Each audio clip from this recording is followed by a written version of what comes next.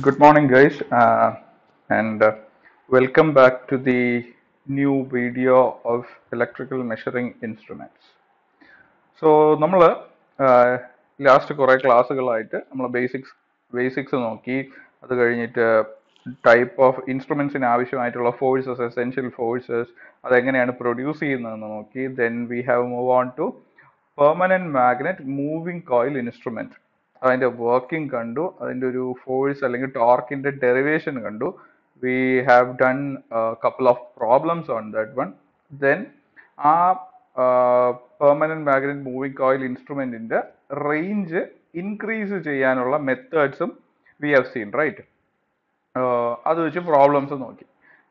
Now നമ്മുടെ permanent magnet moving coil moving coil ഇൻസ്ട്രുമെന്റ്സിന്റെ moving coil ഇൻസ്ട്രുമെന്റ്സിന്റെ main ആയിട്ടുള്ള ഒരു പ്രശ്നം എന്തായിരുന്നു? ഇറ്റ് ക്യാൻ ഓൺലി മെഷർ എന്തായിരുന്നു?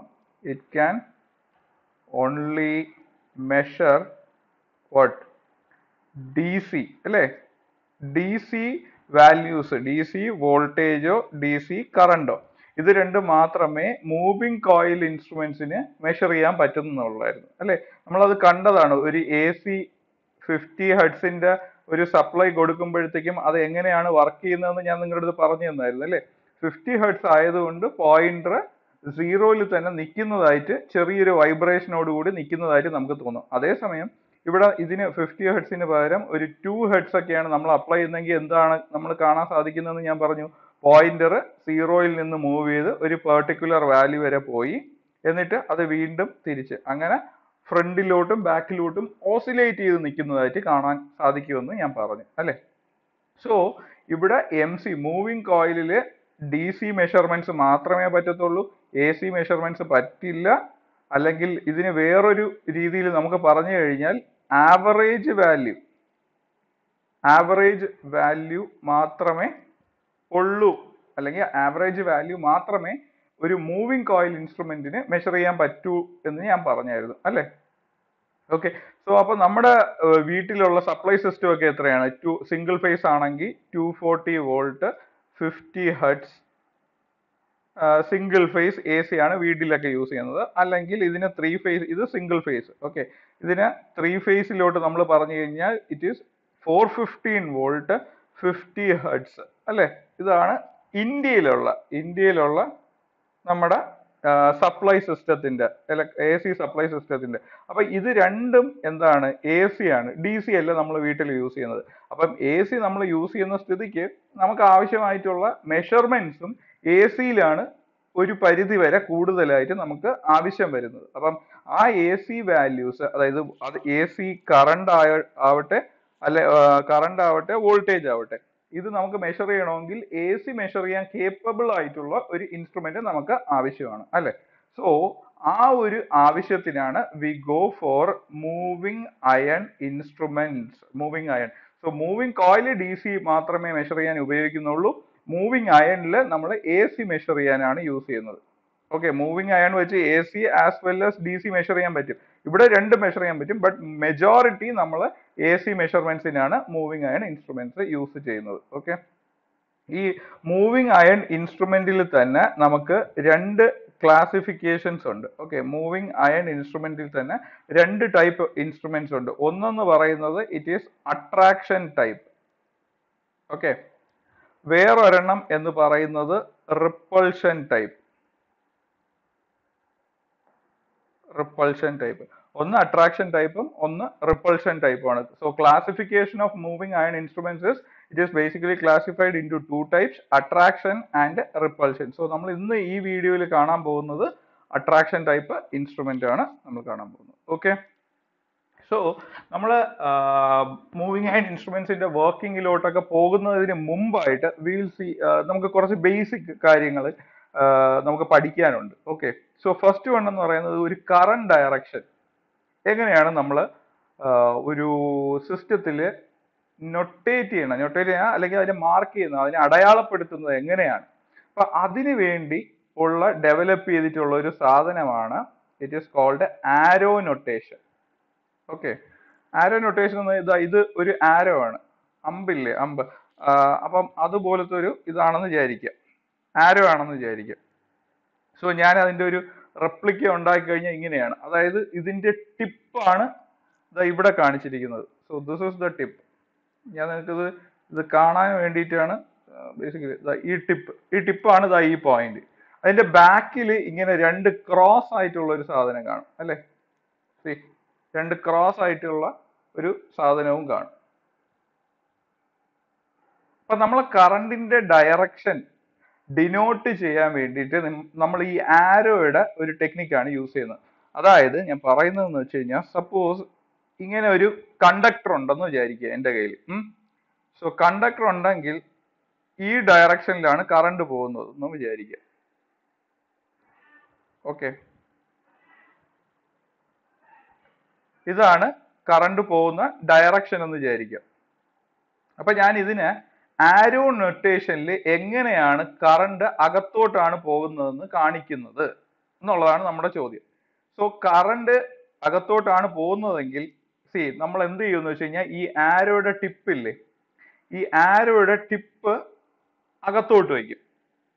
ഓക്കെ ഏത് ഡയറക്ഷനിലാണോ കറണ്ട് പോകുന്നത് ആ ഡയറക്ഷനിൽ ആരോയുടെ ടിപ്പ് വയ്ക്കുന്നു. എന്നിട്ട് നമ്മൾ ബാക്ക് സൈഡിൽ നിന്ന് വന്ന് നോക്കും. അപ്പൊ ബാക്ക് സൈഡിൽ നിന്ന് വന്ന് നോക്കുമ്പോഴത്തേക്കും എന്താണ് കാണുന്നതെന്ന് നോക്കുക. സേ ഞാൻ പറയുന്നത് ഇപ്പൊ നിങ്ങൾ വീഡിയോ കാണുമ്പോഴത്തേക്കും സേ എന്റെ ഫേസിന്റെ ഡയറക്ഷനിലോട്ടാണ് കറണ്ട് വരുന്നതെന്ന് സങ്കല്പിക്കുക ഒരു ഒരു കണ്ടക്ടർ ഇവിടെ ഇരിപ്പുണ്ട്. അതേ ഡയറക്ഷനിലാണ് കറണ്ട് എന്നെ ഫേസ് ചെയ്താണ് വരുന്നത്. അപ്പൊ ഞാൻ എന്ത് ചെയ്യും? ഈ ആരോയെ ആരോയുടെ ടിപ്പ് ഉണ്ടല്ലോ ഈ ടിപ്പ് ഈ ടിപ്പ് എന്നെ ഫേസ് ചെയ്യുന്ന രീതിയിലാക്കി. ഓക്കെ എന്നിട്ട് നിങ്ങൾ അവിടെ നിന്ന് നോക്കുമ്പോഴത്തേക്കും കാണുന്നത് എന്താണ്? ഞാനില്ലെന്ന് വിചാരിക്കുക. ഇവിടെ ഒരു കണ്ടക്ടർ മാത്രമേ ഉള്ളൂ. അപ്പൊ എന്താണ് കാണുന്നത്? ഒരു ക്രോസ് അല്ലേ കാണുന്നത് ആക്ച്വലി അല്ലേ? ഇങ്ങനെ ഒരു ക്രോസ് ആണ് നിങ്ങളുടെ വ്യൂ കാണുന്നത്. അല്ലേ? ഫ്രണ്ട് വ്യൂ നിങ്ങൾ അവിടെ നിന്ന് നോക്കുമ്പോൾ ഇവിടെ ഒരു ക്രോസ് ആണ് കാണുന്നത്. സോ ഇൻവേർഡ് ആയിട്ട് പോകുമ്പോഴത്തേക്കും അകത്തോട്ട് ഇൻസൈഡ് ഇൻസൈഡ് ആണ് കറണ്ട് പോകുന്നതെങ്കിൽ നമ്മൾ എന്തുകൊണ്ട് ഡിനോട്ട് ചെയ്യും? ഒരു ക്രോസ് കൊണ്ട് ഡിനോട്ട് ചെയ്യും. ഇനി സപ്പോസ് നിങ്ങൾ അവിടെ തന്നെ ഇരിക്കുന്നു. കറണ്ട് നിങ്ങളുടെ ഫേസിലോട്ടാണ് വരുന്നത്. നിങ്ങളെ ഫേസ് ചെയ്താണ് വരുന്നത്. അപ്പോഴത്തേക്ക് അങ്ങോട്ടാണ് വരുന്നത്. അപ്പൊ ഞാൻ എന്ത് ചെയ്യും? ഈ ടിപ്പ് നിങ്ങളെ ഫേസ് ചെയ്ത് വെച്ചു. ഓക്കെ നിങ്ങളെ ഫേസ് ചെയ്ത് വെക്കുമ്പോഴത്തേക്കും എന്താ കാണുന്നത്? നിങ്ങൾ വ്യൂ കാണുമ്പോഴത്തേക്കും ഇവിടെ ഈ ഫ്രണ്ട് വ്യൂവിൽ ഒരു ടിപ്പായിട്ടാണ് ഈ ആരോയുടെ ടിപ്പ് മാത്രമേ നിങ്ങൾ കാണുള്ളൂ സോ അതിനെ നമ്മൾ എങ്ങനെ റെപ്രസെന്റ് ചെയ്യും? സപ്പോസ് ഇറ്റ് ഈസ് ഔട്ട്സൈഡ് ആണെങ്കിൽ അതൊരു ഡോട്ട് ആയിരിക്കും. അപ്പൊ ഇതിനെ പറയുന്ന പേരാണ് cross and dot convention cross and dot convention എന്ന് പറയുന്നത്. അതായത് ഒരു കറണ്ട് ഒരു കോയിലിനകത്തോട്ട് ഇൻസൈഡ് ആയിട്ടാണ് പോകുന്നതെങ്കിൽ അകത്തോട്ട് പോകുന്നതെങ്കിൽ we represent it with a cross outside ആണ് വരുന്നതെങ്കിൽ we represent it with a dot okay simple ആണ്. Inside is cross outside is dot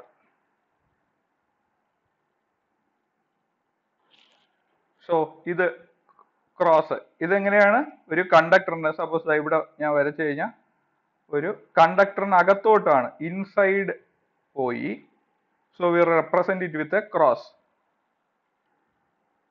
suppose current out coming ആണെങ്കിൽ അല്ലെങ്കിൽ ഔട്ട്സൈഡിലോട്ടാണ് വരുന്നതെങ്കിൽ we represent it with a dot ഞാൻ ഈ ക്രോസും ഡോട്ടും എങ്ങനെ കിട്ടിയെന്ന് എക്സ്പ്ലെയിൻ ചെയ്യാനാണ് ഈ ആരോയുടെ കാര്യം പറഞ്ഞത്. Okay so inside is cross outside is dot ഇനി രണ്ടാമത്തെ കാര്യം എന്ന് പറഞ്ഞു കഴിഞ്ഞാൽ മാഗ്നറ്റൈസേഷൻ ആൻഡ് ഡൈപോൾ എന്ന് പറയുന്ന കോൺസെപ്റ്റ് ആണ്. സോ ഇത് ഓൾമോസ്റ്റ് നിങ്ങൾ എന്റെ ഊഹ ശരിയാണെങ്കിൽ you could have you might have learn it in what plus two mainly okay see നമ്മുടെ ഒരു പാർട്ടിക്കിൾ ഒരു മെറ്റീരിയൽ എടുത്തു കഴിഞ്ഞാൽ അതിന്റെ ഏറ്റവും ഡീപ്പ് ലെയറിൽ പോയി കഴിഞ്ഞാൽ നമ്മൾ കാണുന്നത് എന്താണ്? ആറ്റംസ് ഇലക്ട്രോൺസ് ഒക്കെയാണ് കാണുന്നത് അല്ലെ? സോ ആറ്റംസിന് അകത്ത് ഒരു ആറ്റം എന്ന് പറഞ്ഞു കഴിഞ്ഞാൽ ബേസിക്കലി എന്താണ്? ഒരു സെന്ററിൽ അതിനൊരു ന്യൂക്ലിയസ് ഉണ്ട് അല്ലേ? ന്യൂക്ലിയസ് ഉണ്ട്. ന്യൂക്ലിയസ് എന്ന് പറയുന്നത് എന്താണ്? ഇറ്റ് ഈസ് പോസിറ്റീവ്ലി ചാർജ്ഡ് ആണ്. ഈ ഞാൻ ഇങ്ങോട്ട് മാറ്റി വരച്ചു കഴിഞ്ഞാൽ ഇത് പോസിറ്റീവ്ലി ചാർജ്ഡ് ആണ് ന്യൂക്ലിയസ് ഇതിനെ ചുറ്റും ഒരു ഓർബിറ്റിലാണ് എന്ത് റൊട്ടേറ്റ് ചെയ്യുന്നത്? ഇലക്ട്രോൺസ് റൊട്ടേറ്റ് ചെയ്യുന്നത്. ഇതിങ്ങനെ റൊട്ടേറ്റ് ചെയ്തുകൊണ്ടിരിക്കും അല്ലേ? സോ നമ്മൾ ഇവിടെ നോക്കിക്കഴിഞ്ഞാൽ ഇവിടെ ഒരു ഇലക്ട്രോൺസ് എന്തായാലും നെഗറ്റീവ് ചാർജ് ആണല്ലോ ഇതൊരു പോസിറ്റീവ് ചാർജ് ആണല്ലോ ഇത് രണ്ടും കൂടെ ജോയിൻ ചെയ്യുന്ന ലൈന് നമ്മൾ ഇങ്ങനെ വരച്ചു കഴിഞ്ഞാൽ we have a positive charge and negative charge connected by an invisible line അല്ലേ? നമുക്കിത് കാണാൻ പറ്റാത്ത ലൈനാണ് ബട്ട് ഫോർ എ പേർപ്പസ് നമ്മൾ വരയ്ക്കുന്നു എന്നേ ഉള്ളൂ. ഒരു പോസിറ്റീവും ഒരു നെഗറ്റീവ് ചാർജും ഉണ്ട്. സോ ഇതാണ് അറ്റോമിക് ഡൈപോൾ എന്ന് പറയുന്നത്. What it is called it is called atomic dipole അപ്പം ഇത് ന്യൂക്ലിയസിനെ റെപ്രസെന്റ് ചെയ്യുന്നു. ഇത് ഇലക്ട്രോണിനെ റെപ്രസെന്റ് ചെയ്യുന്നു. ഇത് ന്യൂക്ലിയസ് ഓക്കെ ന്യൂട്രോൺ എന്ന് വിചാരിച്ച കളയിൽ it nucleus and this is electron അപ്പം ഇതൊരു പോസിറ്റീവ് നെഗറ്റീവ് കോമ്പിനേഷൻ ആണ്. അപ്പൊ രണ്ട് പോൾ ഉണ്ട്. ഒരു പോസിറ്റീവ് പോളും ഒരു നെഗറ്റീവ് പോളും അപ്പൊ ഇതുകൊണ്ടാണ് ഇതിനെ ഡൈപോൾ എന്ന് പറയുന്നത്. ഓക്കെ എല്ലാ എല്ലാ മെറ്റീരിയലിലും ഡൈപോൾസ് ഉണ്ട്. എല്ലാ ഇതിലും ഇലക്ട്രോൺസും ന്യൂക്ലിയസും ഉള്ളത് കൊണ്ട് ഇങ്ങനെ ഒരു സിസ്റ്റം എല്ലാ പാർട്ടിക്കിളിലും കാണും. അതായത് സി ഇത് ഞാനൊരു സ്ക്വയർ പീസ് ഓഫ് ഒരു മെറ്റൽ അല്ലെങ്കിൽ ഏതെങ്കിലും ഒരു മെറ്റീരിയൽ എടുത്തു എന്ന് വിചാരിക്കുക. സോ അതിനകത്ത് ഇതേപോലത്തെ ഡൈപോൾസിന്റെ എൻ നമ്പർ എൻ നമ്പർ എന്ന് പറഞ്ഞാൽ കോടാനുകോടി നമ്പേഴ്സ് അതിനകത്ത് കാണും. അപ്പൊ ഞാനൊരു റെപ്രസെന്റേഷൻ പർപ്പസിന് ഞാൻ കുറച്ച് നമ്പേഴ്സ് എടുത്തിട്ടുണ്ട്. സി അത് ആദ്യം ഇങ്ങനെയാണ് അറേഞ്ച് ചെയ്തിരിക്കുന്നതെന്ന് വെച്ചാൽ ഇത് ഒരു കറക്റ്റ് ആയിട്ട് അലൈൻഡ് ആയിട്ടുള്ള അലൈൻഡ് പോൾസ് ആണ്. അലൈൻഡ് ഡൈപോൾസ് ആണ് ഓക്കെ അലൈൻഡ് ഡൈപോൾസ് ഞാൻ അലൈൻഡ് എന്ന് പറയുന്നതിന്റെ കാര്യം ഒരു പർട്ടിക്കുലർ ഓറിയന്റേഷനിലാണ് ഇതിരിക്കുന്നത്. സി ലെഫ്റ്റ് സൈഡിൽ പോസിറ്റീവ് റൈറ്റ് സൈഡിൽ നെഗറ്റീവ് ലെഫ്റ്റ് സൈഡിൽ പോസിറ്റീവ് റൈറ്റ് സൈഡിൽ നെഗറ്റീവ് ലെഫ്റ്റ് സൈഡിൽ പോസിറ്റീവ് റൈറ്റ് സൈഡിൽ negative left side right side left side right so there is a alignment inside this one okay ഇനി ഇങ്ങനെ തന്നെ അറേഞ്ച് ചെയ്യണമെന്ന് നിർബന്ധമില്ല. It can be something like this ഞാൻ ഇവിടെ എന്താ ചെയ്തത്? ഇതും ഇതും തമ്മിലുള്ള വ്യത്യാസം നിങ്ങൾ നോക്കിയേ. ലെഫ്റ്റ് സൈഡിൽ പോസിറ്റീവ് റൈറ്റ് സൈഡിൽ നെഗറ്റീവ് അടുത്ത കേസ് വന്നപ്പോഴത്തേക്കും വി ഹാഡ് വാട്ട് ലെഫ്റ്റ് സൈഡിൽ നെഗറ്റീവ് വന്നു റൈറ്റ് സൈഡിൽ പോസിറ്റീവ് വന്നു. എഗെയിൻ ഇവിടെ ലെഫ്റ്റ് സൈഡിൽ പോസിറ്റീവ് റൈറ്റ് സൈഡിൽ നെഗറ്റീവ്. ലെഫ്റ്റ് സൈഡിൽ നെഗറ്റീവായി ഇവിടെയും നെഗറ്റീവായി. ഓക്കെ. ഇവിടെ റൈറ്റ് സൈഡിൽ പോസിറ്റീവായി. അപ്പൊ ഇതിൽ എന്താണ്? ഓൾട്ടർനേറ്റ് ആയിട്ടാണ് ഇതിന്റെ അലൈൻമെന്റ് വരുന്നത്. ഓക്കെ ഓൾട്ടർനേറ്റ് ആയിട്ട്. ഇത് ഏത് മെറ്റീരിയൽ വേണോ പല മെറ്റീരിയലിലും പല രീതിയിലായിരിക്കും. ഇന്ന രീതിയിൽ തന്നെ ആയിരിക്കണമെന്ന് ഒരു നിർബന്ധവും ഇല്ല. ഓക്കെ. ഓരോ മെറ്റീരിയലിന്റെ പ്രോപ്പർട്ടി അനുസരിച്ച് അതിന്റെ മാഗ്നറ്റിക് പ്രോപ്പർട്ടി അനുസരിച്ച് ഈ അലൈൻമെന്റിന് വ്യത്യാസം വരാം. നിങ്ങളിപ്പം കാണുമ്പോൾ ഒരു ലൈൻ ലൈൻ ആയിട്ടാണ് അത് അറേഞ്ച് ചെയ്തിരിക്കുന്നത്. അങ്ങനെ തന്നെ വരണമെന്നും നിർബന്ധമില്ല. It can be something like this also ഇതുപോലെ ചരിഞ്ഞു ഇരിക്കാം. അതായത് ഇവിടെ നോക്കുമ്പോൾ നിങ്ങൾക്ക് മനസ്സിലാവും. ഇത് ഒരു ആംഗിളിലാണ് ഈ ഒരു സെറ്റ് ഒരു പെർട്ടിക്കുലർ ആംഗിളിലാണ് ചരിഞ്ഞിരിക്കുന്നത്. ഇത് വേറൊരു ആംഗിളിലാണ് ചരിഞ്ഞിരിക്കുന്നത്. ഇത് സ്ട്രൈറ്റ് ഇരിക്കുന്നു ഇത് എഗെയിൻ വേറൊരു ഡിഗ്രിയിൽ ഇത് വേറൊരു ഡിഗ്രിയിൽ ഇങ്ങനെ ഇരിക്കാം. ഓക്കെ അപ്പം ഓരോ മെറ്റീരിയലിനും അതിന്റെതായ സവിശേഷതകൾക്ക് അനുസരിച്ച് അതിന്റെ മാഗ്നറ്റിക് ഡൈപോൾസ് അലൈൻഡ് ആയിരിക്കും. അത് പല ചിലപ്പം ഒരു സിക്സാഗ് ആയിരിക്കും. അതായത് ഒരെണ്ണം തെക്കോട്ട് നോക്കിയിരിക്കും ഒരെണ്ണം വടക്കോട്ട് നോക്കിയിരിക്കും ഒരെണ്ണം പടിഞ്ഞാറോട്ട് നോക്കിയിരിക്കും. അങ്ങനെ ആയിരിക്കാൻ വരുന്നത്. ചിലപ്പോൾ എല്ലാം ഒരേ ഡയറക്ഷനിൽ തന്നെ ആയിരിക്കും ഇരിക്കുന്നത് തന്നെ ഓൾറെഡി ചിലപ്പം ഒന്ന് ഒരു ഡയറക്ഷനിൽ അതിന്റെ അടുത്തിരിക്കുന്നത് അതിന്റെ നേരെ ഓപ്പോസിറ്റ് ഡയറക്ഷനിൽ അങ്ങനെ വേണമെങ്കിൽ ഇരിക്കാം. സോ നിങ്ങൾ മനസ്സിലാക്കേണ്ടത് എല്ലാ മെറ്റീരിയൽസിനകത്തും ഈ ഡൈപോൾ എക്സിസ്റ്റ് ചെയ്യുന്നുണ്ട്. ഓക്കെ ഈ ഡൈപോളിന്റെ ഓറിയന്റേഷൻ അനുസരിച്ചാണ് അത് എങ്ങനെയാണ് ഇത് അതിനകത്ത് ഇരിക്കുന്നത് എന്നുള്ളത് അനുസൃതമായിട്ടാണ് അതിന്റെ മാഗ്നറ്റിക് പ്രോപ്പർട്ടി ഡിഫൈൻ ആവുന്നത്. അതായത് അതിന്റെ മാഗ്നറ്റിക് പ്രോപ്പർട്ടി എങ്ങനെയായിരിക്കുമെന്ന് ഡിസ്ക്രൈബ് ചെയ്യുന്നത് ഈ പോൾസിന്റെ അല്ലെങ്കിൽ ഈ ഡൈപോൾസിന്റെ ഓറിയന്റേഷനെ ബേസ് ചെയ്ത് മാത്രമായിരിക്കും. മാത്രമല്ല ബേസ് ചെയ്തായിരിക്കും ഓക്കെ സപ്പോസ് ഞാൻ ഒരു എക്സാമ്പിൾ എടുത്തു എന്ന് വിചാരിക്കുക. ഇത് ഞാനൊരു എക്സാമ്പിളിന് വേണ്ടി ഇതൊരു അയൺ പീസ് ആണെന്ന് വിചാരിക്കുക. അയൺ ഏ? അയൺ പീസിനകത്ത് സപ്പോസ് ഞാൻ എടുത്ത് നമ്മളിതിന്റെ അറ്റോമിക് ലെവലിൽ പോയി കഴിഞ്ഞാൽ നമുക്ക് മനസ്സിലാക്കാൻ പറ്റും. ദാ ഒരു സെറ്റ് ഓഫ് ഡൈപോൾസ് ഒരു ഇത് സേ ട്വന്റി ഡിഗ്രിയിലാണ് ഇരിക്കുന്നതെന്ന് വിചാരിക്കുക അടുത്ത set of dipoles say one sixty ഡിഗ്രിയിലാണ് ഇരിക്കുന്നത്. അടുത്ത സെറ്റ് ഓഫ് ഡൈപോൾസ് സീറോ ഡിഗ്രിയിലാണ് ഇരിക്കുന്നത്. Again twenty degree again one sixty degree. ഇത് ഞാനൊരു റാൻഡം എക്സാമ്പിളിന് വേണ്ടിയിട്ട് വാല്യൂ എടുക്കുന്നതാണ് കേട്ടോ. അപ്പം ഈ അയൺ പീസ് എടുക്കുമ്പോഴത്തേക്കും നമുക്ക് ഇങ്ങനെയാണ് ഇരിക്കുന്നതെന്ന് വിചാരിക്കുക ഞാൻ എന്ത് ചെയ്യുമെന്ന് വെച്ച് കഴിഞ്ഞാൽ ഇതിനടുത്ത് ഒരു magnet കൊണ്ടുവയ്ക്കുന്നു. Magnet permanent magnet permanent magnet ഞാൻ കൊണ്ടുവച്ചു. പെർമനന്റ് മാഗ്നറ്റ് കൊണ്ടുവയ്ക്കുമ്പോൾ എന്താ സംഭവിക്കുന്നതെന്ന് വെച്ച് കഴിഞ്ഞാൽ സി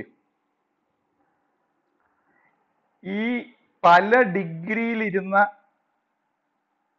ഡൈപോൾസ് ഉണ്ടല്ലോ അതെല്ലാം ഒരേ രീതിയിൽ അറേഞ്ച് ചെയ്യാൻ തുടങ്ങും. അതായത് ലെഫ്റ്റ് സൈഡിൽ പോസിറ്റീവ് വരുന്നതും റൈറ്റ് സൈഡിൽ നെഗറ്റീവ് വരുന്നതും. ലെഫ്റ്റ് സൈഡിൽ പോസിറ്റീവ് വരുന്നു റൈറ്റ് സൈഡിൽ നെഗറ്റീവ് ലെഫ്റ്റ് സൈഡിൽ പോസിറ്റീവ് റൈറ്റ് സൈഡിൽ നെഗറ്റീവ് ലെഫ്റ്റ് സൈഡിൽ പോസിറ്റീവ് റൈറ്റ് സൈഡിൽ negative so something like this അപ്പൊ ഒരേ പാറ്റേണിലോട്ട് നിങ്ങൾ ഇവിടെ നോക്കിക്കഴിഞ്ഞാൽ ഫസ്റ്റ് ഫിഗറിൽ നോക്കിക്കഴിഞ്ഞാൽ ലെഫ്റ്റ് സൈഡിൽ പോസിറ്റീവ് ലെഫ്റ്റ് സൈഡിൽ പോസിറ്റീവ് ലെഫ്റ്റ് സൈഡിൽ പോസിറ്റീവ് ഇവിടെ എന്താ? റൈറ്റ് സൈഡിൽ പോസിറ്റീവ് റൈറ്റ് സൈഡിൽ റൈറ്റ് സൈഡിൽ പോസിറ്റീവും അങ്ങനെയായിരുന്നു അല്ലേ? പക്ഷേ ഞാൻ ഇവിടെ ഒരു മാഗ്നറ്റ് കൊണ്ടുവച്ചപ്പോൾ എന്താണ്? ഇത് നേരെ ഒന്ന് റൊട്ടേറ്റ് ചെയ്തിട്ട് സ്ട്രെയിറ്റ് ആയിട്ട് ഇരിക്കാൻ തുടങ്ങി. ഓക്കെ അത് അയണിന്റെ പ്രോപ്പർട്ടി കൊണ്ട് ഈ ഡൈപോൾസിനെ ചേഞ്ച് ചെയ്യാനുള്ള കഴിവുണ്ട്. അത് എല്ലാ മെറ്റീരിയലിനും വരത്തില്ല. ഇങ്ങനെ ഒന്ന് റൊട്ടേറ്റ് ചെയ്ത് കറക്റ്റ് ആയിട്ട് അലൈൻഡ് ആയിട്ട് ഇരിക്കുന്നതിന് അത് ചില മെറ്റീരിയൽസ് ചില മെറ്റൽസിന് അതിന്റെ പ്രോപ്പർട്ടി ഉള്ള അയണിന് ഇങ്ങനെ അലൈൻ ചെയ്ത് ഇരിക്കാനുള്ള കഴിവുണ്ട് അതിന്റെ ആറ്റത്തിന്. ഓക്കെ സോ അപ്പം ഇവിടെ എന്താ സംഭവിച്ചത്? ഒരു മാ ഒരു പെർമനന്റ് മാഗ്നറ്റ് ഞാൻ വച്ചപ്പോഴത്തേക്കും ഇതിന്റെ ഡൈപോൾസ് ഇതിന്റെ ഡൈപോൾസ് സെയിം ഡയറക്ഷനിൽ സെയിം ഡയറക്ഷനിൽ അലൈൻ ചെയ്യാൻ തുടങ്ങി. ഓക്കെ സെയിം ഡയറക്ഷനിൽ അലൈൻ ചെയ്യാൻ തുടങ്ങി. ഇതിന് നമുക്ക് സപ്പോസ് ഒരു പെർട്ടിക്കുലർ രീതിയിൽ വേണമെങ്കിൽ എനിക്ക് ഇതിനെ കുറച്ചും കൂടെ സിംപ്ലിഫൈ ചെയ്ത് വരയ്ക്കാം. അത് അതെങ്ങനെ വരയ്ക്കും എന്ന് വെച്ച് കഴിഞ്ഞാൽ ഈ പോസിറ്റീവ് ഇതുണ്ടല്ലോ പോസിറ്റീവ് പോളിനെ ഞാൻ വരെ ആരോ ഹെഡ് വെച്ച് മാർക്ക് ചെയ്തു. നെഗറ്റീവിന് ആരോയുടെ അതർ എൻഡ് അപ്പൊ ഞാൻ ഇങ്ങനെ ഇങ്ങനെ വരച്ചു എന്ന് വിചാരിക്കുക. അപ്പം ഇത് എന്ത് സംഭവം ഇവിടെ എന്താ സംഭവിക്കുന്നതെന്ന് വെച്ച് കഴിഞ്ഞാൽ ഇവിടെ ഒരു മാഗ്നറ്റിസം വരികയാണ്. മാഗ്നറ്റിസം നടക്കുകയാണ്. ഇത് മാഗ്നറ്റൈസ് ആയി. മാഗ്നറ്റൈസ് ആവുമ്പോഴത്തേക്കും സപ്പോസ് ഞാൻ ഈ ഈ ആരോയുടെ തലയുണ്ടല്ലോ ഹെഡ് ഉണ്ടല്ലോ ഈ ഹെഡിനെ നോർത്ത് പോൾ ആയിട്ട് കൺസിഡർ ചെയ്തു എന്ന് വിചാരിക്കുക. അത് നിർബന്ധമില്ല. ഇപ്പോഴത്തെ ഒരു അത് നോർത്തോ സൗത്തോ ആവാം. ഞാനിപ്പോൾ എക്സ്പ്ലനേഷന് വേണ്ടി നോർത്ത് എന്ന് അസ്യൂം ചെയ്യുന്നു. ഇത് സൗത്ത് അപ്പൊ north south north south north south north south north south north south north south so അപ്പൊ ഇതെന്ത് പറ്റി? ഈ ഒരു അയണിന്റെ ഒരു പീസ് റെക്ടാങ്കുലർ പീസിനകത്ത് ഒട്ടനവധി ചെറിയ ചെറിയ മാഗ്നറ്റുകൾ ഫോം ചെയ്തു. അല്ലേ? അപ്പൊ ഇതിനെ മൊത്തത്തിൽ നമ്മൾ ഈ നോർത്ത് പോ ഈ ഒരു സൈഡിനെ വേണമെങ്കിൽ നമുക്ക് മൊത്തത്തിൽ നോർത്ത് പോളെന്നും ഈ മൊത്തത്തിൽ ഈ സൈഡിനെ സൗത്ത് പോളെന്നും വേണമെങ്കിൽ നമുക്ക് കൺസിഡർ ചെയ്യാം. ഇതുകൊണ്ടാണ് നിങ്ങൾ പണ്ട് സ്കൂളിലൊക്കെ എക്സ്പെരിമെന്റ് ചെയ്ത് കാണും.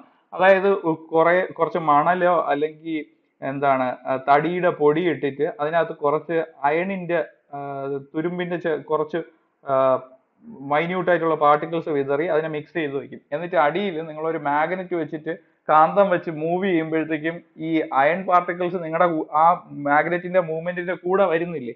അത് ഇതുകൊണ്ടാണ് സംഭവിക്കുന്നത്. ആ മാ അയൺ പീസിനകത്തുള്ള ഡൈപോൾസുകൾ ഒരേ രീതിയിൽ അറേഞ്ച് അലൈനായി അത് ഈ മാഗ്നറ്റിലോട്ട് അട്രാക്ട് ആവാൻ തുടങ്ങും. സി നിങ്ങൾ ഇവിടെ നോക്കിക്കേ ഇവിടെ ഇവിടെ വച്ചിരിക്കുന്ന ഈ ഇതിനെ ഞാൻ ഒന്നും കൂടെ സിംപ്ലിഫൈ ചെയ്ത് വരച്ചു കഴിഞ്ഞാൽ ഒരു പെർമനന്റ് മാഗ്നറ്റ് ഉണ്ട് അല്ലേ? നോർത്ത് പോൾ സൗത്ത് പോൾ ഇപ്പൊ നിങ്ങളുടെ ഒരു അയൺ പീസ് ഉണ്ടല്ലോ. ആ അയൺ പീസിനും ഇപ്പൊ ഒരു നോർത്തും ഒരു സൗത്തും ഉണ്ടായി. അപ്പൊ സൗത്തും നോർത്തും അടുത്ത് വന്നില്ലേ? ഇത് അട്രാക്ട് ആവത്തില്ലേ? ഇത് തന്നെയാണ് നിങ്ങൾ ആ എക്സ്പെരിമെന്റ് ചെയ്യുമ്പോഴത്തേക്കും ആ പേപ്പറിന് അടിയിലുള്ള മാഗ്നറ്റ് മൂവ് ചെയ്യുന്നതനുസരിച്ച് ആ കാന്ത ഈ എന്താണ് അയണിന്റെ പാർട്ടിക്കിൾസ് നിങ്ങളുടെ ആ മാഗ്നറ്റിന്റെ മൂവ്മെന്റിന് അനുസൃതമായിട്ട് വന്നുകൊണ്ടിരിക്കുന്നത് ഓക്കെ ഇതേ സെയിം കാര്യം തന്നെയായിരിക്കും നിങ്ങളുടെ നിങ്ങൾ ചിലപ്പോൾ ശ്രദ്ധിച്ചു കാണും. ഈ സ്ക്രൂ ഡ്രൈവർ ഒക്കെ നമ്മൾ യൂസ് ചെയ്തിട്ട് നമ്മളിത് റൊട്ടേറ്റ് ചെയ്ത് എടുക്കുമ്പോഴത്തേക്കും ചിലപ്പോൾ സ്ക്രൂ വന്ന് ഇതിന്റെ ടിപ്പിൽ അറ്റാച്ച് ആയിരിക്കും. കാരണം എന്ന് വെച്ച് കഴിഞ്ഞാൽ അതിന്റെ ഒരു മാഗ്നറ്റിക് പ്രോപ്പർട്ടി ഉണ്ട്. നമ്മൾ അപ്ലൈ ചെയ്യുന്ന ഫോഴ്സ് കാരണം ഈ അലൈൻമെന്റ് നടക്കുന്നുണ്ട്. മാഗ്നറ്റിന്റെ പ്രസൻസ് ഇല്ലാതെ തന്നെ ആ ഫോ നമ്മൾ അപ്ലൈ ചെയ്യുന്ന തിരിക്ക് റൊട്ടേറ്റ് ചെയ്യുന്ന ഒരു ഫോഴ്സ് ഉണ്ടല്ലോ. ആ ഫോഴ്സ് കൊണ്ട് അതിനൊരു മാഗ്നറ്റിസം ക്രിയേറ്റ് ചെയ്യാനുള്ള കപ്പാസിറ്റി ഉള്ള മെറ്റീരിയൽ ആയിരിക്കും അതിന്. ഓക്കെ സോ അതാണ് സംഭവിക്കുന്നത്. അപ്പം ഇതിൽ ഞാൻ പറയാൻ കാര്യം എന്ന് വെച്ച് കഴിഞ്ഞാൽ എങ്ങനെയാണ് ഒരു അയൺ പീസ് മാഗ്നറ്റൈസ് ആവുന്നു എന്നുള്ളത് എക്സ്പ്ലെയിൻ ചെയ്യാനാണ് ഞാൻ ഇത് പറഞ്ഞത്. So it is because of the alignment of dipoles inside the material okay കാര്യം മനസ്സിലായെന്ന് വിചാരിക്കുന്നു. Now we go, will go for uh, the working of moving iron instrument. Okay? So moving iron instruments ൽ ഉള്ള part parts എന്തൊക്കെയാണെന്ന് നോക്കാം. Okay so ഇതെന്ന് moving iron ഇൻസ്ട്രുമെന്റ്സിൽ main ആയിട്ട് വരുന്ന ഒരു കാര്യം എന്ന് വെച്ച് കഴിഞ്ഞാൽ we have a coil we have a coil ഈ ഒരു കോയിലാണെന്ന് വിചാരിക്കും. ഞാൻ ഈ കോയിൽ ഈ ഫിഗറും ഈ ഫിഗറിൽ ചെറിയ ഇത് പറയാൻ ഉദ്ദേശിച്ചതെന്ന് വെച്ച് കഴിഞ്ഞാൽ ഈ ഫിഗറിന് ഈ ഒരു കോയിലിനെ ഞാൻ സെന്ററിൽ നിന്ന് കട്ട് ചെയ്തു എന്ന് വിചാരിക്കുക സെന്ററിൽ നിന്ന് ഇവിടെ വെച്ചിട്ട് ഒരു ബ്ലേഡ് വെച്ച് ബ്ലേഡ് അല്ല ഒരു സോ വെച്ച് ഞാൻ കട്ട് ചെയ്ത് കഴിയുമ്പോഴത്തേക്ക് എനിക്ക് എന്തായിരിക്കും വ്യൂ കിട്ടുന്നത്? ഈ ഒരു സിലിണ്ടറിക്കൽ സാധനത്തിനെ കട്ട് ചെയ്ത് കഴിഞ്ഞാൽ ഇങ്ങനെ ആയിരിക്കുമല്ലോ വരുന്നത്. അല്ലേ? സോ ഒരു മൂവിങ് അയൺ ഇൻസ്ട്രുമെന്റ്സിനകത്ത് ഉള്ള കാര്യങ്ങൾ എന്തൊക്കെയാണെന്ന് നമുക്ക് നോക്കാം. So we have a coil ഇത് കോയിലാണ് ഇത് ത്രീ ഓക്കെ ഇതൊരു കോയിലാണ് ദെൻ ഇതിലെ പാർട്സ് ഏതൊക്കെയാണെന്ന് നിങ്ങളൊന്ന് പറഞ്ഞേ. സോ വി ഹാവ് ഇത് ഇതെന്താണ്? ഒരു ബാലൻസിങ് വെയിറ്റ് ഇത് കൺട്രോളിങ് വെയിറ്റ് ഇതെന്താണ്? Air friction damping. Air friction ഡാമ്പിങ്ങിന് വേണ്ടിയിട്ട് യൂസ് ചെയ്യുന്ന പിസ്റ്റൺ സിലിണ്ടർ അറേഞ്ച്മെന്റ് ഇതെന്താണ്? This is a pointer this is a scale graduated scale okay ഇത് നമ്മളിപ്പം പഠിക്കുന്നത് എന്താണ്? It is a moving iron അല്ലെ? എം ഐ എന്ന് നമ്മൾ പറയും. So moving iron moving iron എന്ന് പറയുമ്പോൾ ഒരു അയൺ പീസ് ഇവിടെ യൂസ് ചെയ്യണ്ടേ? സോ ഈ ഇതാണ് ആ അയൺ പീസ് ഇതിനെ പറയുന്നത് soft iron disc soft iron disc so moving അയണിൽ നമ്മൾ moving coil permanent magnet moving coil പഠിച്ചപ്പോൾ അതിനകത്തൊരു മൂവ് ചെയ്യുന്ന ഒരു കോയിൽ ഉണ്ടായിരുന്നു അല്ലേ? അലുമിനിയം ഫോർമറിന് ചുറ്റും ചുറ്റി വൈൻഡ് ചെയ്തിരിക്കുന്ന കോയിൽ ഉണ്ടായിരുന്നു. മൂവിങ് അയണിൽ വരുമ്പോഴത്തേക്കും ഒരു അയൺ പീസ് കാണും. ആ അയൺ പീസ് ആയിരിക്കും മൂവ് ചെയ്യുന്നത്. സോ ആ മൂവ് ചെയ്യുന്ന അയൺ പീസ് ആണ് ദാ ഈ ഒരു ഓവൽ ഷേപ്പിൽ ഞാൻ കാണിച്ചിരിക്കുന്നത്. It is made of it is called soft iron disc okay soft iron disc പിന്നെ ഇവിടെ ഞാൻ കാണിച്ചിരിക്കുന്നത് എന്ന് വെച്ച് കഴിഞ്ഞാൽ ആ കോയിൽ ഉണ്ടല്ലോ ആ കോയിലിന്റെ കുറേ ടേൺസ് ആണ്. ഈ സാധനത്തിനെ കട്ട് ചെയ്യുമ്പോഴത്തേക്കും ഇതിനെ ഞാൻ ഇവിടെ വെച്ച് കട്ട് ചെയ്ത് കഴിഞ്ഞാൽ എന്താണ് കിട്ടുന്നത്? ഇവിടെ ഒരു കോയിൽ ഇവിടെ ഒരു കോയിൽ ഇവിടെ ഒരു കോയിൽ ഇവിടെ ഒരു കോയിൽ ഇങ്ങനെ കാണും. അതേപോലെ ഈ കട്ട് ചെയ്ത് ഈ പോർഷൻ റിമൂവ് ചെയ്യുമ്പോൾ താഴെയും കൂടെ അല്ലേ കാണത്തുള്ളൂ? അല്ലേ? സോ അതിന്റെ ഫിഗർ ആണ് ഞാൻ ബൈസെക്ട് ചെയ്തതിന് ശേഷമുള്ള ഇത് വരച്ചിരിക്കുന്നത്. സോ സപ്പോസ് ഞാൻ ഈ നിങ്ങൾക്ക് ഇപ്പം ഒരു സംശയം വരും. ഈ ക്രോസ് എന്തിനാണ് ഈ ഡോട്ട് എന്തിനാണ് മാർക്ക് ചെയ്തിരിക്കുന്നത് എന്നുള്ളത്. അത് നമ്മൾ അടുത്ത വീഡിയോ അടുത്ത സ്ലൈഡിലോട്ട് പോകുമ്പോൾ മനസ്സിലാവും. വേണമെങ്കിൽ ഞാൻ പറയാം. സി ഞാൻ ഇവിടെ നിന്ന് ഒരു ഒരു കോയിലിന്റെ ഒരു എൻഡ് ഇവിടെ കണക്ട് ചെയ്തു. കോയിലിന്റെ ഒരു എൻഡ് ഇവിടെ കണക്ട് ചെയ്തു. സോ സപ്പോസ് കറണ്ട് ഇവിടെ എന്റർ ചെയ്യുന്നു. കറണ്ട് സോറി ആ ഇത് ഇവിടെ എന്റർ ചെയ്യുന്നു എന്ന് വിചാരിക്കാം ഇവിടെ ലീവ് ചെയ്യുന്നു. ഓക്കെ സോ കറണ്ട് എന്റർ ചെയ്യുന്ന പോർഷൻ അതായത് ഇൻസൈഡ് കോയിലിന് അകത്തോട്ട് പോകുന്നു അല്ലെ? സോ ഇവിടെ ഇൻസൈഡ് ആണ് പോകുന്നത്. ഇൻസൈഡ് പോകുമ്പോഴത്തേക്ക് ഞാൻ എന്ത് പറഞ്ഞു? കറണ്ടിന്റെ ഡയറക്ഷൻ റെപ്രസെന്റ് ചെയ്യണമെങ്കിൽ we represent it with a cross ഇവിടെ കറണ്ടിന്റെ കറണ്ട് പുറത്തോട്ട് വരുന്നു. ഇവിടെ നിന്ന് കോയിലിൽ കൂടെ സർക്കുലേറ്റ് ചെയ്ത് ഇതുവഴി പുറത്തോട്ട് വരുന്നു. ആ പുറത്തോട്ട് വരുന്ന ഇത് ആവുമ്പോഴത്തേക്ക് ഔട്ട്സൈഡ് ആണ് അല്ലെ? ഔട്ട്സൈഡ് വരുമ്പോഴത്തേക്കും എന്തുകൊണ്ട് റെപ്രസെന്റ് ചെയ്യുമെന്ന് പറഞ്ഞു? ഡോട്ട് കൊണ്ട് ഫോർ ഇതിൽ സപ്പോസ് ദാ നോക്കിക്കോ. ഈ ഈ ഒരു കോയിൽ ചുറ്റി വെച്ചിരിക്കുമ്പോഴത്തേക്ക് ഇതിന് ഇവിടെ ഒരു എൻഡ് കാണും. സപ്പോസ് ഇവിടെ ഒരു എൻഡും കാണുമെന്ന് വെച്ചാൽ രണ്ട് എൻഡ് കാണുമല്ലോ ഒരു കോയിലിൽ ഒരു ഒരു വയർ എടുത്ത് ഇങ്ങനെ ചുറ്റുന്നതല്ലേ? ചുറ്റി ചുറ്റി ചുറ്റി ഇപ്പുറത്തെ സൈഡിൽ എത്തിക്കുന്നു. അല്ലേ?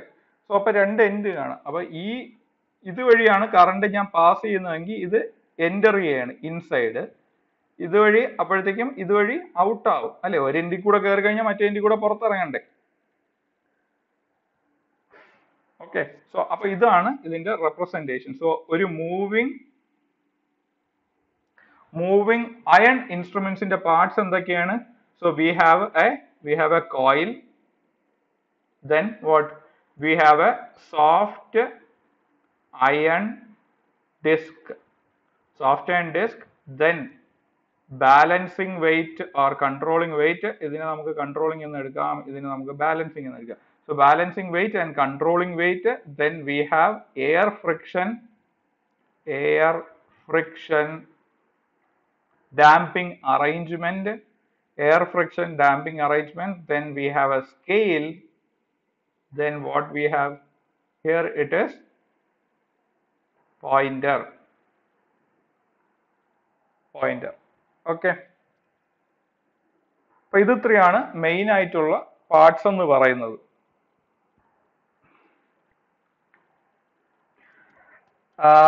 അതുപോലെ പെർമനന്റ് മാഗ്നറ്റ് മൂവിങ് കോയിൽ ഇൻസ്ട്രുമെന്റിൽ നമ്മൾ പഠിച്ചല്ലോ അതിൽ ആ മൂവ്മെന്റ് ക്രിയേറ്റ് ചെയ്യുന്ന പ്രിൻസിപ്പിൾ എന്തായിരുന്നു? What what was the basic principle behind a coil instrument എന്തായിരുന്നു? ഇറ്റ് വാസ് ലോറൻസ് പ്രിൻസിപ്പിൾ അല്ലേ? ലോറൻസ് പ്രിൻസിപ്പിൾ ആണ് നമ്മൾ യൂസ് ചെയ്തത്. ഇവിടെ ഇവിടെ എന്തായിരിക്കും? ഇവിടെ ലോറൻസ് പ്രിൻസിപ്പിൾ ആയിരിക്കുമോ യൂസ് ചെയ്യുന്നത്? ആയിരിക്കത്തില്ല.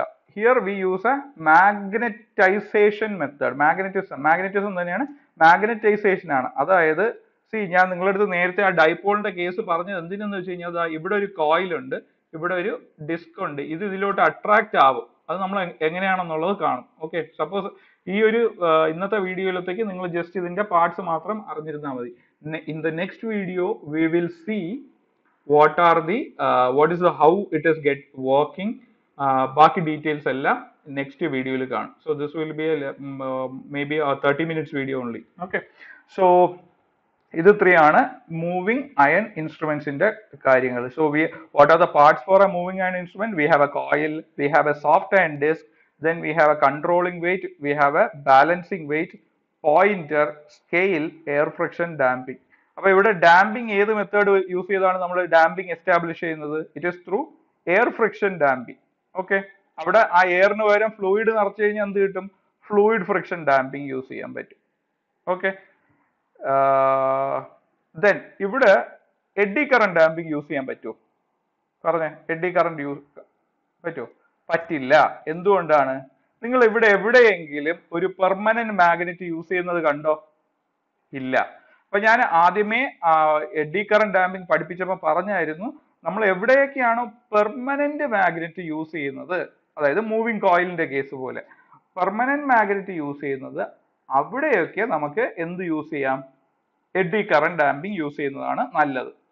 അതുകൊണ്ടാണ് ഇവിടെ നമ്മൾ ഒരു പെർമനന്റ് മാഗ്നറ്റ് യൂസ് ചെയ്യുന്നില്ല. അത് അതുകൊണ്ട് നമുക്ക് എഡി കറന്റ് ഡാമ്പിംഗ് യൂസ് ചെയ്യാൻ പറ്റില്ല so we go for either air friction damping or fluid friction damping then we have a pointer scale now. Damping torque air friction air friction damping വഴി produce ചെയ്യും. ഇവിടെ എങ്ങനെയാണ് controlling torque produce ചെയ്യുന്നത്? എന്ത് method use ചെയ്താണ് പറഞ്ഞേ. It will be through gravity control നിങ്ങൾ കാണുന്നില്ലേ?